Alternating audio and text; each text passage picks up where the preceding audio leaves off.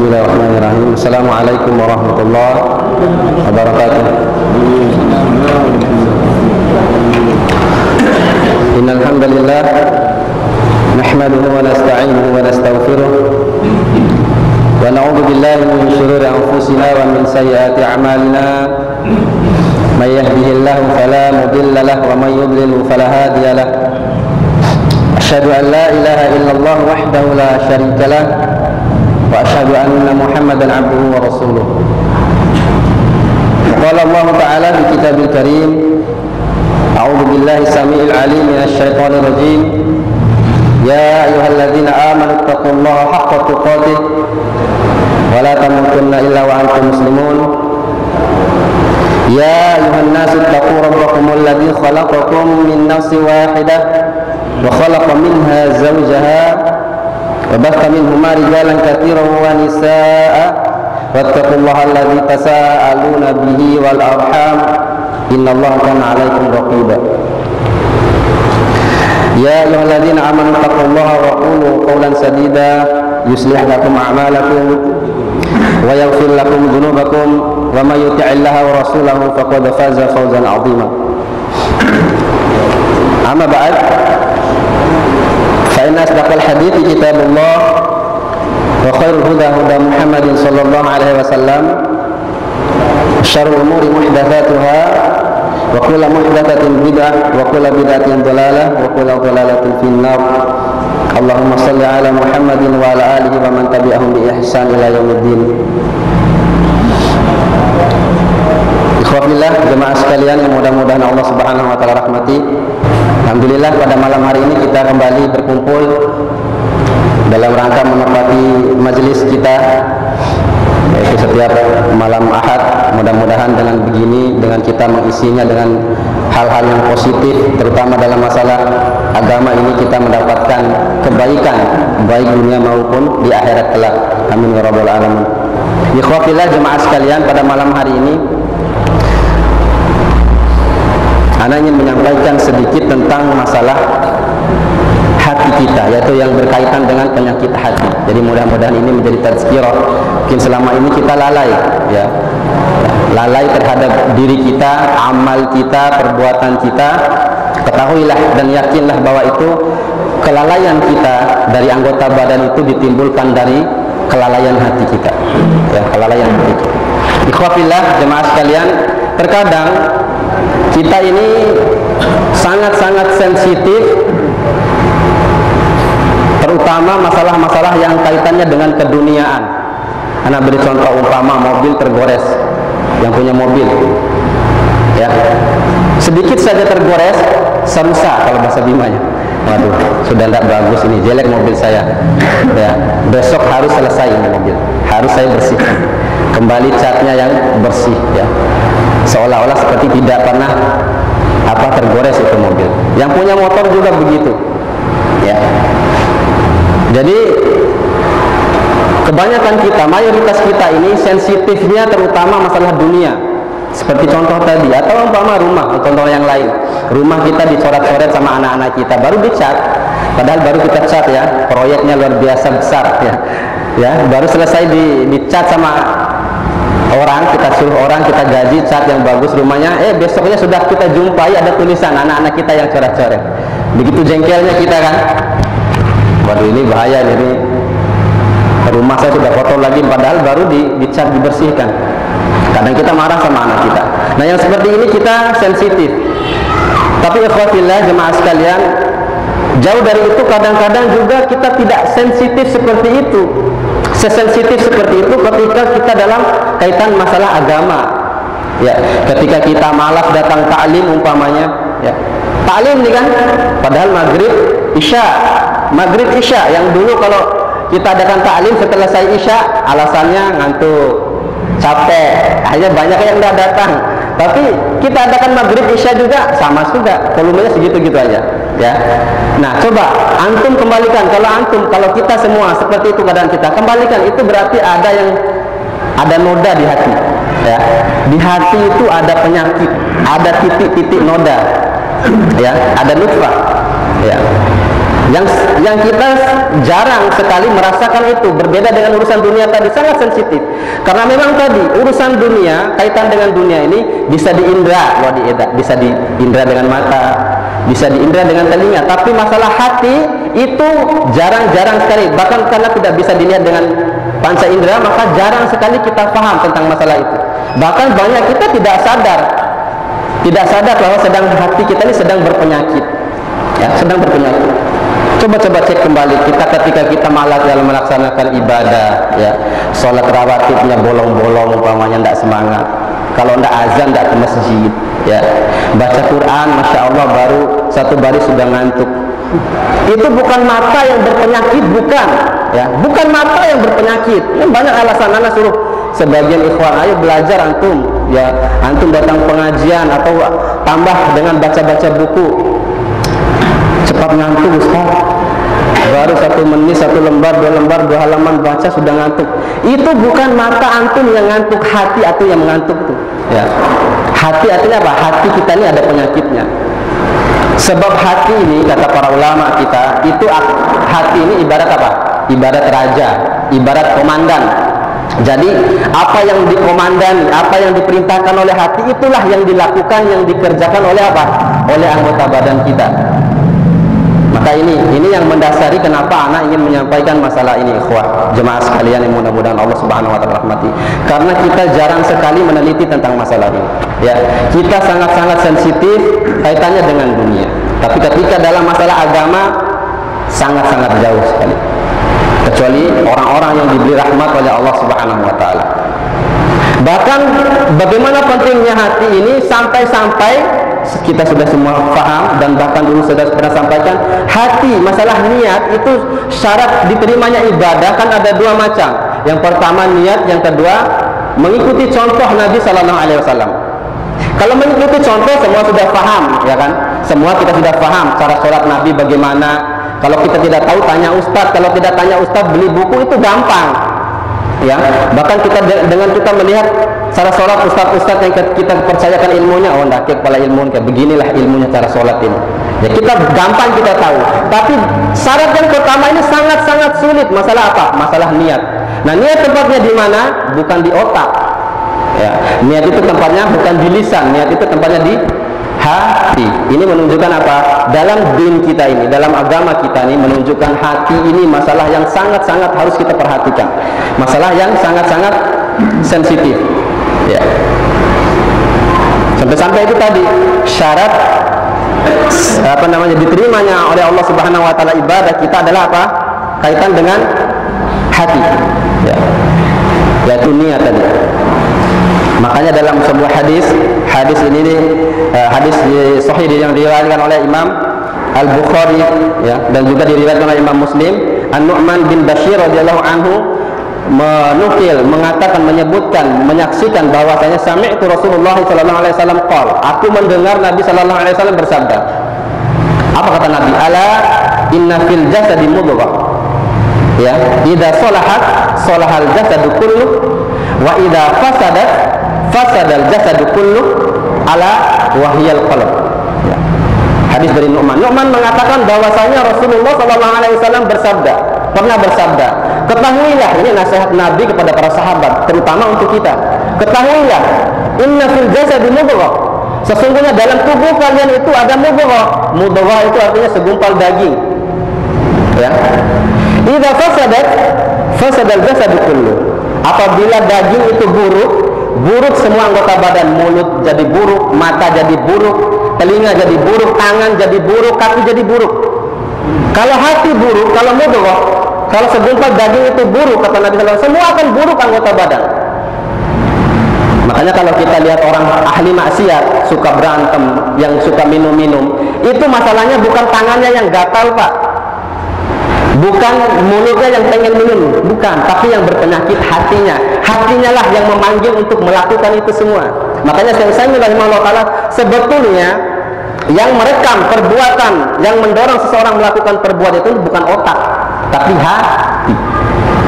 Maka ini hati-hati. Kalau rusak kolbu mudghah rusak semua anggota badan. Sebaliknya kata Nabi Shallallahu Alaihi Wasallam ida apabila dia uh, baik ya, maka baik pula seluruh anggota badan. Ya ala wahiyal qalb. Ketahuilah segumpal darah segumpal daging yang ada dalam diri kalian itu adalah yang dimaksud adalah hati kita makanya hati-hati. Kita periksa kembali hati kita ikhwas kalian. Para jemaah yang mudah-mudahan Allah Subhanahu wa taala rahmati. Begitu sangat-sangat berharganya hati ini ya.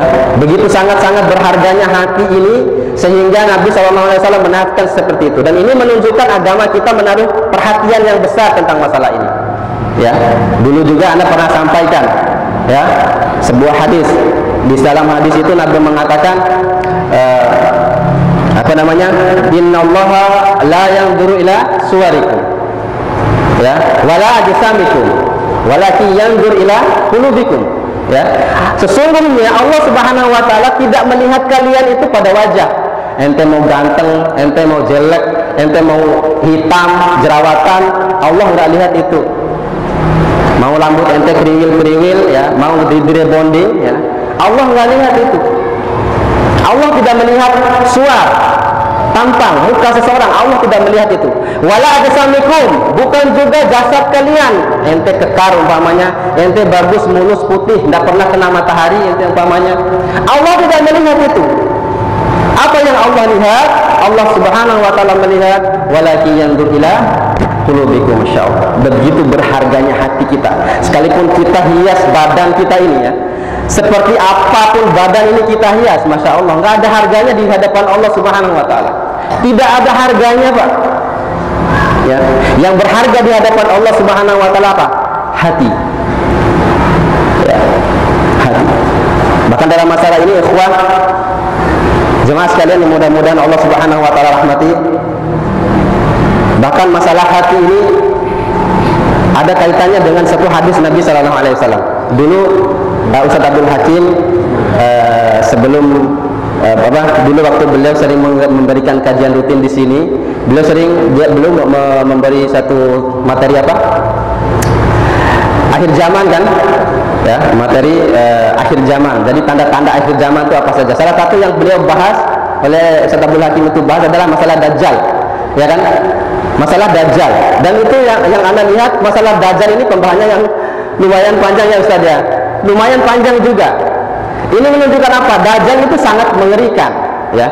Kita tahu dalam hadisnya ada Ustaz Abdul Hakim sering menyampaikan dajjal itu ya tidak tidak sedikit memurtadkan orang nanti ketika turun ya. Ketika dajjal turun di, diturunkan oleh Allah Subhanahu wa taala diutus di tengah manusia di akhir zaman itu tidak sedikit yang menjadi murtad. Tidak sedikit yang menjadi murtad ya. Ketika dibawa Dajjal itu bawa api dan air ya kan? Kita sudah masyur kita sudah dengar itu ya. Api kita kira air. Air kita kira apa? Api. Ya saking dahsyatnya Dajjal ini. Dajjal juga bisa menghidupkan orang yang mati coba. Masya Allah gimana orang tidak tertipu? Orang orang yang mati itu sudah berpuluh-puluh tahun bahkan beratus-ratus tahun dihidupkan dibangkitkan oleh Allah dipertemukan dengan sanak familinya. Masya Allah Gimana sana famili tidak murtad? Ikut dajjal? Coba. Begitu dahsyatnya dajjal. Sampai-sampai saking dahsyatnya dajjal ketika Ustaz Abdul Hakim menyampaikan masalah dajjal tidak ada yang ngantuk. Begitu juga sekarang Anda lihat. Karena kita sedang bahas dajjal kan. Tidak ada yang ngantuk saking dahsyatnya dajjal. Ya kan? Dajjal bisa berpindah tempat dari tempat yang satu ke tempat lain yang sangat jauh dalam waktu sekejap mata saja. Bagaimana kita tidak tertipu? Bagaimana orang yang tipis keimanannya itu tidak murtad dari agamanya? Insya Allah. Dajjal ketika musim kemarau dia bisa menurunkan hujan dari langit. Dia memerintahkan langit untuk menurunkan hujan. Hujan turun pak. Itu Dajjal. Begitu mengerikan Dajjal. Saya yakin kita semua tidak ingin berjumpa di masa Dajjal itu dengan Dajjal ini. Jangankan kita Nabi saja berdoa agar tidak berjumpa dengan fitnah dajjal ya setiap selesai tahiyat akhir Nabi Shallallahu Alaihi Wasallam berdoa minta ya ya. Minta untuk apa? Dijauhkan dari fitnah dajjal. Ya. Saking dahsyatnya dajjal. Nah ikhwatilah jemaah sekalian tidak hanya kita yang takut ya. Para nabi termasuk Nabi Shallallahu Alaihi Wasallam ya. Beliau berdoa agar tidak bertemu dengan fitnah ini. Begitu juga dengan para para sahabat Nabi Shallallahu Alaihi Wasallam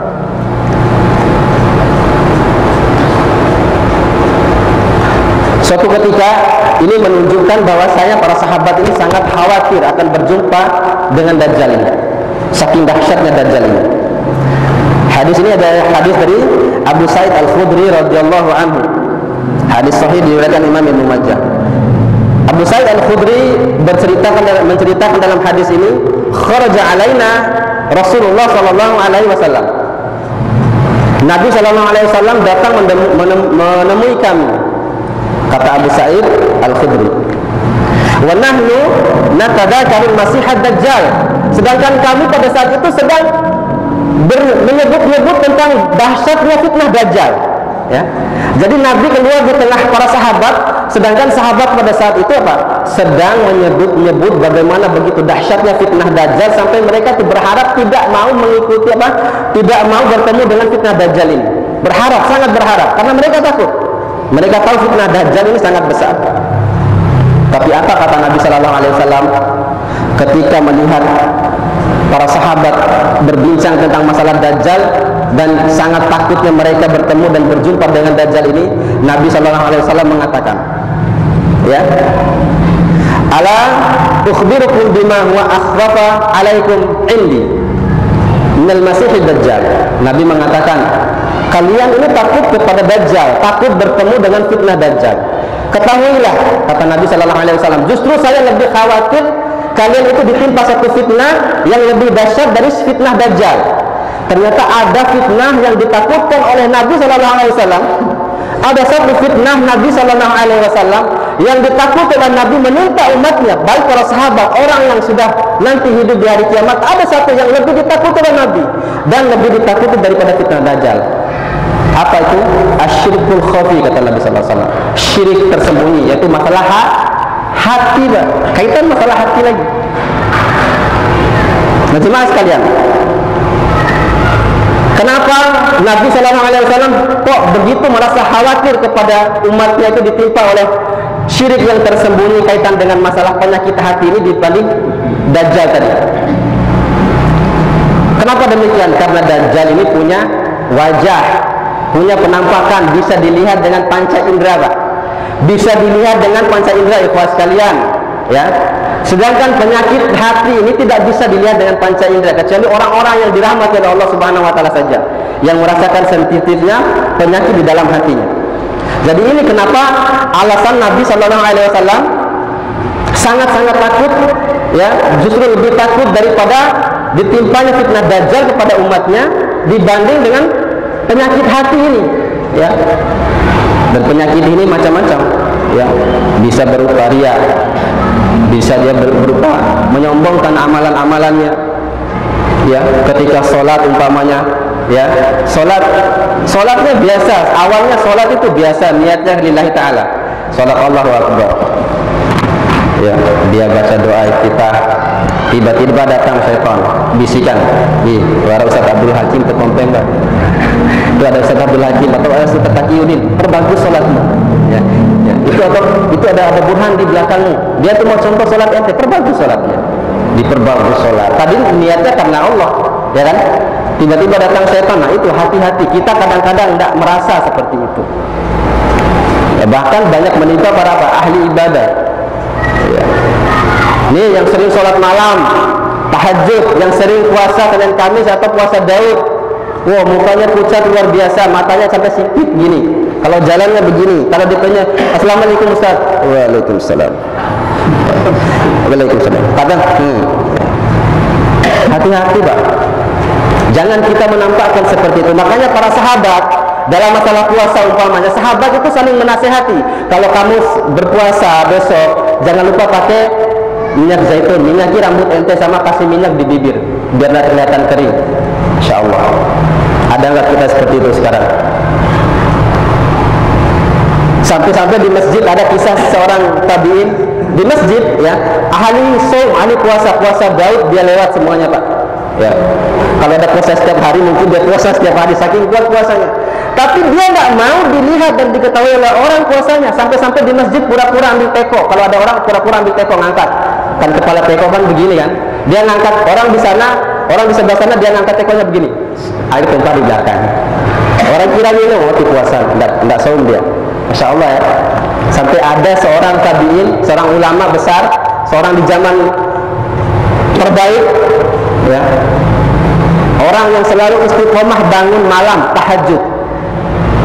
Tapi ketahuilah tahajudnya istri pun tidak tahu dia tahajud. Ketika istrinya bangun dia pura-pura tidur Insya Allah ya ahli tahajud ya istrinya bangun ya istri terbangun tengah malam dia langsung pura-pura tidur. Seolah-olah dia tidak melaksanakan sholat malam insya Allah saking apa? Dia sembunyikan amal.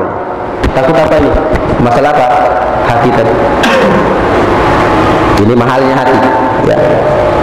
Ini menunjukkan mahalnya hati itu.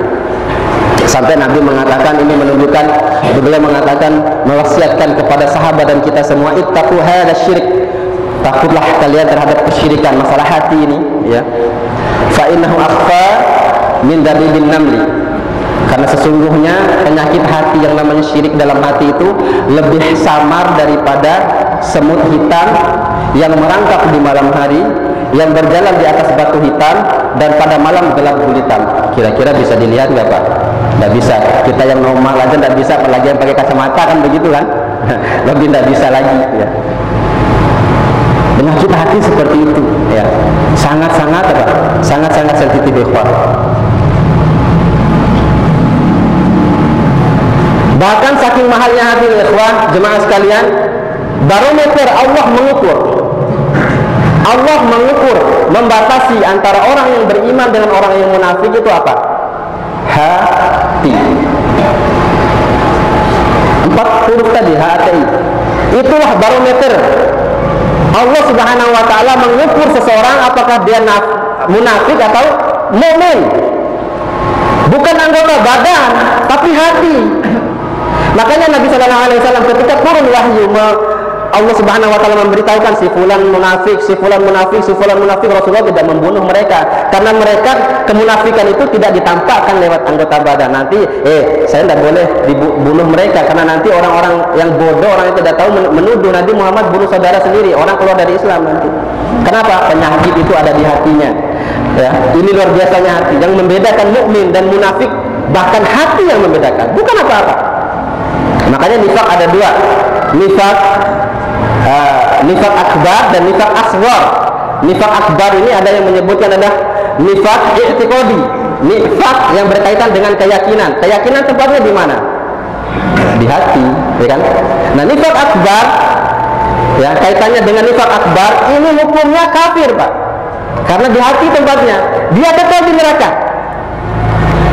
Hati-hati dengan hati. Nifak asgor apa? Maksud pada nifak amali dan dia tidak membatalkan Islam seseorang. Ada hadis salah ada tiga uh, ayatul munafik. Ada tiga tanda orang-orang munafik apabila tidak hadasa kadzaba apabila dia berkata dia berdusta apabila dia berdebat dia dia apa dia curang dalam perdebatannya apabila dia diberi ke, kepercayaan maka dia hianat ya. Itu nifak asgor tidak kafir yang seperti ini nanti dia kalau dia membawa dosa itu dia tidak minta ampun kepada Allah dia masuk neraka disikat dulu di neraka baru dikembalikan ke surga. Kalau dia tidak bukan nifak akbar nifak asghar tidak membatalkan Islam. Tapi beda tadi nifak yang i'tiqadi keyakinan dia sembunyikan dalam hatinya. Kemunafikan dia sembunyikan dalam hatinya. Nah ini yang dihukumi kafir. Sudah waktunya. Insya Allah sebagai penutup anak kasih contoh. Ya betapa pentingnya hati di dalam Islam ya. Ada seorang ikhwah yang ingin menikah. Ada yang ingin menikah? Banyak ya. Tapi belum punya kesempatan. Masih banyak yang punya satu dua oh banyak tiga ya. banyak yang bujang empat. Mana lagi? Belum lagi yang mau tambah. Jadi ada kisah. Ini penting e, menunjukkan pentingnya hati. Ada kisah ada contoh ini contoh Umpama ada seorang ikhwah, ikhwah ini naksir banget sama akhwat. Oh, terlanjur jatuh cinta dah. Pandangan pertama itu seperti kelapa yang jatuh itu. Kalau bahasa Bima ini setunda yang jatuh itu. Ya, kadar dubu ini. Ya. Wow, terbayang terus, ya, terbayang terus. Akhirnya apa? Dia pengen sekali ini. Dia pengen kepada akhwat ini. Waduh, ini bahaya nih. Saya sudah hati saya ini sudah bahaya, ya. Saya harus dapatkan dia. Dilamar akhwat ini ditolak. Ya ditolak ternyata. Kecewa dia. Tapi ikhwan ini ternyata punya semangat yang 45 ya. Semangat juang. Mungkin dulu dia ikut perang 45 dulu waktu kemerdekaan jadi semangat juang ya seperti komandan kita ini. Dilamar lagi ulang lamar lagi ditolak lagi. Dilamar dilamar terus akhirnya apa? Si akhwat ini ya perasaan juga. Aduh kalau ditolak terus ini nggak enak nih ya sudahlah saya terima lamaran ente kata si akhwat ya saya terima lamaran ente kata si akhwat tapi ketahuilah ya. Ya saya terima lamaran ente tapi hati, hati saya bukan untuk ente katanya. Kira-kira mau nggak? Ada. Kalau antum nikah mau nggak begitu. Ya saya mau terima lamaran ente tapi hati saya untuk bukan untuk ente mau nggak? Kalau ditanya hati ente hati anti itu untuk siapa? Umpama hati saya untuk Mas Bambang umpamanya ada Mas Bambang di sini. Jadi kita mau nikah Enggak mau, enggak bakal mau kenapa? Karena pentingnya hati ya paridoannya. Itu pentingnya hati ya. Mungkin ada yang bilang di antara antum ada yang, "Ah, enggak apa-apa sudah nikah aja kan antum dapat kepalanya, dapat tangannya, umpamanya. Biar bisa dapat hatinya.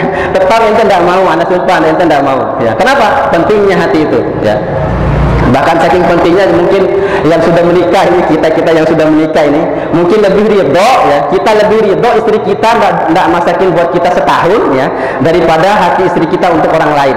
Betul kan? Betul lebih rela kita nggak masak setahun nggak apa-apa. Kita beli jajan di luar nggak apa-apa. Kita beli nasi campur banyak yang jual. Tapi kalau hati istri kita untuk orang lain nggak ridho kita. Untuk apa dapat jasa tapi kita nggak dapat hatinya. Ya. jadi ini ikhwah pentingnya masalah hati ini kita anak cukupkan sekian. Mudah-mudahan apa yang anak sampaikan ini bisa menjadi tazkirah terutama untuk anak pribadi. Mudah-mudahan kita diberi keistiqomahan oleh Allah Subhanahu wa taala untuk terus memeriksa merenungi hati kita setiap hari. Ketika kita lemah dalam ibadah cobalah renungi. Bisa jadi hati kita ada penyakit. Atau ketika kita ibadah selalu ingin menampakkan kepada orang lain cobalah renungi. Bisa bisa jadi hati kita ada penyakit. Subhanakallahumma wa bihamdika asyhadu an la ilaha illa anta astaghfiruka wa atubu ilaik. Assalamualaikum warahmatullahi wabarakatuh